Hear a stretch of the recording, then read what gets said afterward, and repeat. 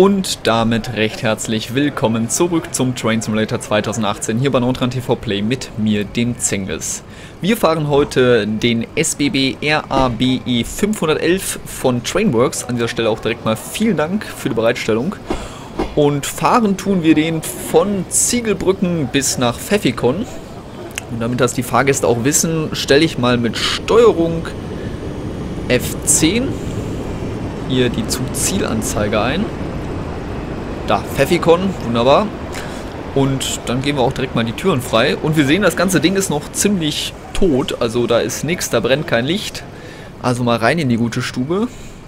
Weil wir müssen das ganze Fahrzeug natürlich noch schön aufrüsten. So, da sehen wir noch den Mond am Himmel. Wir haben 6 Uhr. Und, beziehungsweise 6 Uhr, ja, ganz genau 6 Uhr. Und dann würde ich mal sagen, machen wir uns erstmal hier ein bisschen Licht an. Dann den Fahrstand aktivieren. Und ja, erstmal Batterieschalter einlegen. Jetzt können wir hier zum Beispiel auswählen auf diesem Monitor, welchen Pantographen wir oben sehen wollen. Oh, diese Lok ist so laut. Wahnsinn. Dieses kleine knatternde Ding da. Man könnte meinen, ich habe das Fenster offen gelassen, aber nee, ist zu. Naja, aber wir können es auf Auto lassen, weil dann stellt er selber ein, ob der den vorderen oder hinteren nimmt, je nachdem, in welche Richtung wir fahren. Wir können hier den Spiegel ausklappen. Der Spiegel bringt uns nur leider herzlich wenig, weil es irgendwie keine spiegelnden Texturen gibt hier. Also fahren wir den mal ganz schnell wieder ein. Aber Zugspitzensignal sollten wir natürlich anmachen. Ja, Parkbremse ist gelöst. Das ist schon mal sehr erfreulich. Dann können wir den Fahrtrichtungswender schon mal nach vorne machen. Den Pantographen heben. Beziehungsweise direkt einfach den Hauptschalter reinmachen. Und dann können wir mal kurz die Zugbeeinflussung testen. Das machen wir hier über diese ZUB-Taste, beziehungsweise ZUB-Test-Taste. Jetzt hat er die einmal durchgetestet. Dann machen wir direkt auch mal mit Shift 7 die Wachsamkeitskontrolle an. Und mit Shift L oder was? Steuerung L. Muss ich gleich mal gucken, kann man die nämlich noch umstellen, weil es gibt mehrere Modi. Es gibt einen, der wahnsinnig nervig ist. Das werden wir wahrscheinlich gleich merken äh, wo sich der Sicherheitsfahrschalter, also die Wachsamkeitskontrolle, alle paar Sekunden meldet und es gibt einen, wo er dann immer mal wieder macht. Also es gibt so eine, glaube ich, eine Wegsiefer und eine Zeitsiefer. Die Schweizer machen das scheinbar so. So, jetzt müssen wir noch ganz wichtig den Hauptschalter wieder neu reinmachen, weil durch diesen Test von der Zugbeeinflussung, ne, haben wir halt immer eine kurze Zwangsbremsung quasi. Und das haut uns dann direkt den ja, Hauptschalter raus und dann ist ein Fahren nicht möglich. So, jetzt sehen wir hier direkt von der Zugbeeinflussung die angesagte Geschwindigkeit. Und wenn wir mehr wissen wollen, können wir hier auch sogar noch kurz dieses Display anmachen. Einfach draufklicken und nach oben bzw. unten ziehen. Und dann sehen wir hier Ziegelbrücke. Da sind wir. Und wir fahren jetzt nach Bilten. Und ich würde sagen, da wir Abfahrt haben, sollten wir auch uns schleunigst hier vom Fleck bewegen. Also Bremse lösen. Wachsamkeitskontrolle Langsamgang. Okay, jetzt bin ich mal gespannt. Scheinwischer sollten wir natürlich auch anmachen, weil das Wetter ist echt nicht schön. Und dann kann es losgehen. Ja, unterwegs sind wir auf der Strecke SBB Route 1. Auch hier nochmal vielen Dank für die Bereitstellung an das Simtrain-Team.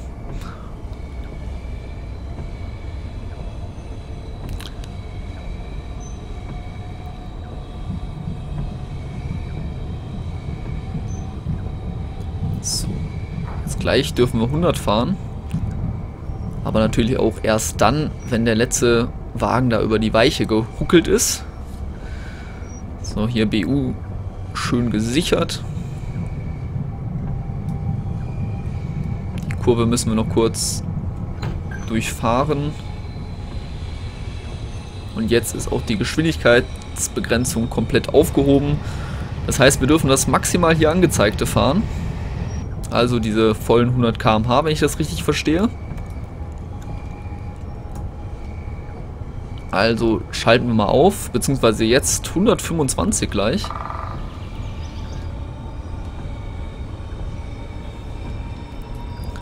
Aber da hier leider, glaube ich, keine Kilometer Tafeln sind, werden wir an dieser Stelle jetzt mal unten das Display einblenden müssen, damit wir wissen, wo wir uns eigentlich gerade befinden. So. Wunderbar.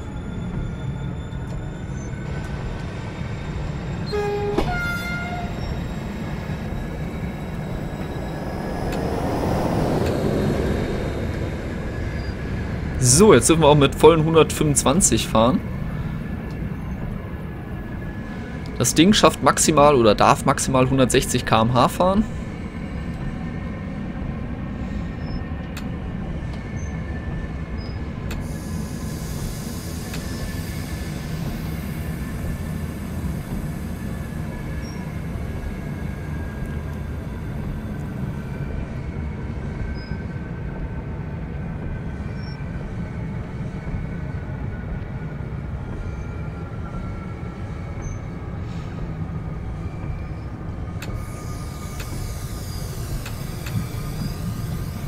So. Swiss Spore. Kenne ich nicht. Ja, auf Schweiz hätte ich jetzt schon Bock, aber auf das Wetter, um ehrlich zu sein, nicht. aber es ist auch Winter hier in der Simulation, also dann passt das schon. So,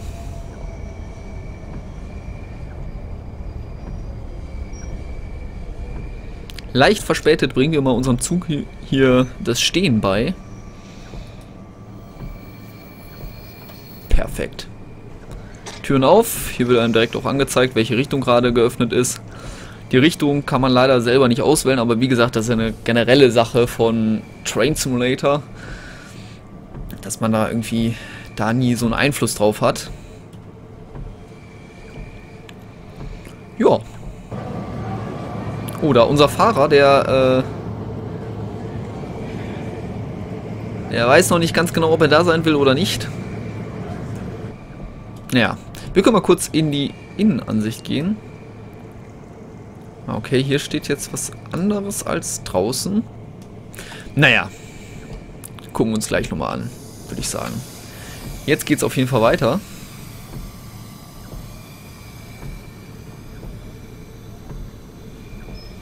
Beschleunigung ist gerade ziemlich langsam, aber na, geht.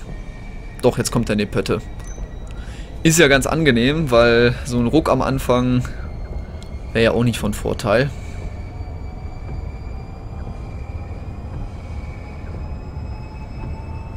So. Irgendwie habe ich gerade die ganze Zeit so ein komisches Quietschgeräusch im Hintergrund. Ich weiß nicht, ob das so gewollt ist oder nicht. Es gibt auch noch so ein paar Fehler, äh, von denen weiß der Entwickler tatsächlich. Es ist zum Beispiel einmal, dass, ja, dass beim Sound ab und zu mal was äh, ein bisschen anders ist. Also das könnte zum Beispiel eventuell dazugehören, dieses Quietschen. Aber an sich ist der Sound wohl recht realistisch. Und auch leise. Also ich bin noch nie mit so einem Fahrzeug gefahren, aber ich meine, man hört halt nicht viel, ne? Aber ihr könnt gerne mal in die äh, Kommentare schreiben, was ihr von dem Fahrzeug so haltet. Vielleicht kennt ihr das ja aus nächster Nähe. Uiuiui. Oh, ja, ja. Geht aufs Kreuz hier die Route. Jetzt müssen wir hier mal ein bisschen weiterschalten. Wenn wir jetzt gleich Halt in Reichenburg haben. So. Ui. Ja, man hat das Gefühl, wir springen hier eher über die Strecke. Es kann sein, dass äh, hier tatsächlich ein paar Huggel drin sind. Aber so krass glaube ich auch wieder nicht.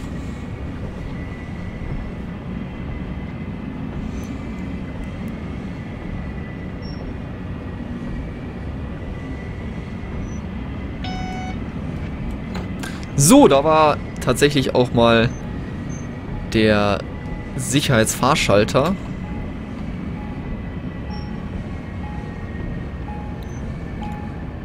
Und ich überlege gerade, ob ich gleich mal in diesen Schnellgang von dem Sicherheitsfahrschalter reingehen soll.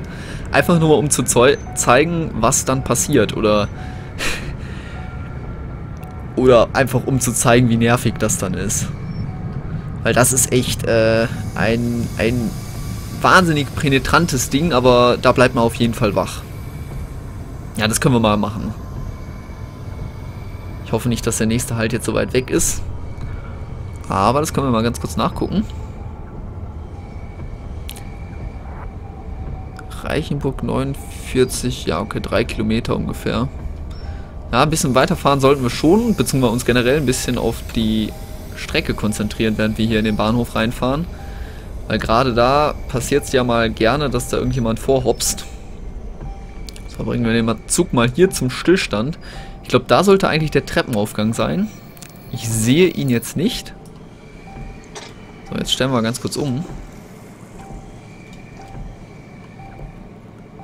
Jetzt bin ich mal gespannt, weil jetzt gleich wird nämlich eine sehr nervige Fahrt beginnen, aber ich weiß gar nicht, warum macht man das in der Schweiz so, dass man da die, diesen Sicherheitsfahrschalter eben in zwei Modi hat. Einmal dieses komische Schnelle und einmal dieses Langsame. Ich weiß es nicht. Aber ich hoffe, dass ich es jetzt richtig umgestellt habe, weil dann wird uns jetzt gleich ein blaues Wunder blühen.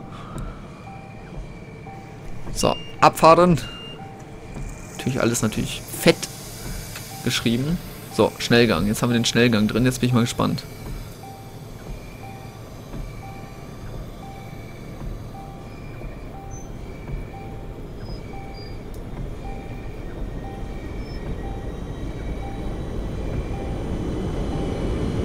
Ja, das ist tatsächlich die erste Schweizer Route, die ich fahre.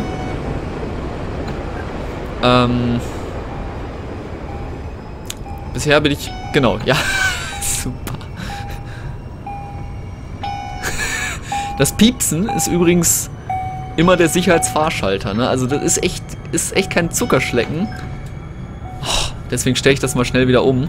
Aber jetzt wisst ihr auf jeden Fall, was dieser Langsamgang bzw. Schnellgang macht. Also der Schnellgang ist das Nervige und einfach immer hier mit...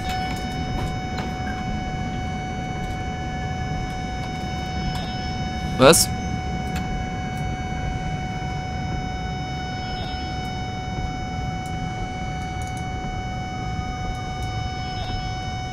Ja, ich dachte eigentlich, dass ich bestätigt habe, aber ich war ja gerade in den Einstellungen drin. Okay, also...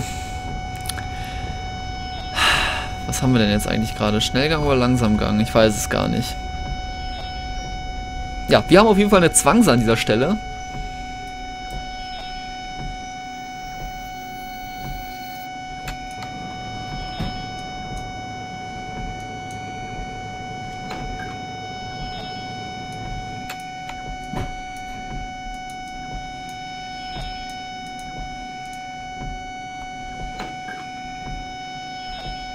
Ah, okay.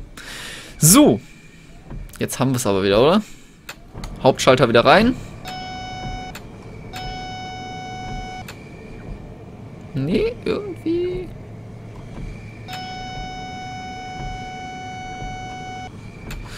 Irgendwie noch nicht so ganz, ne?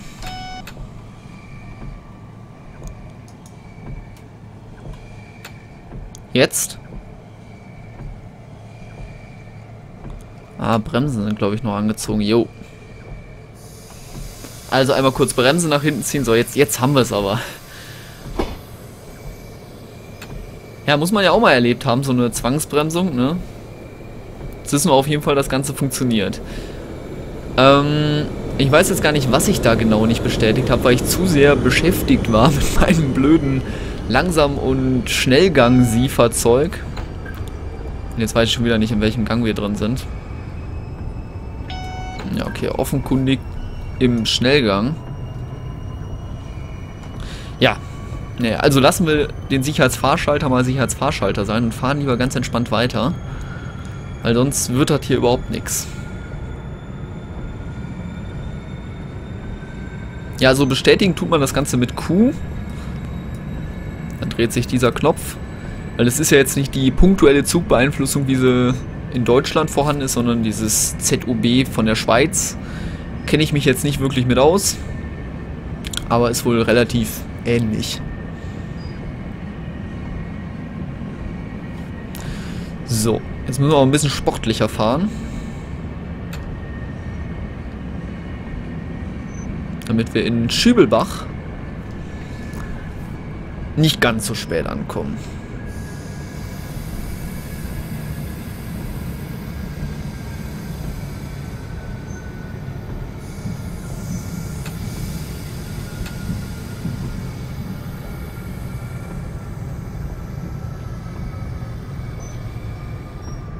So.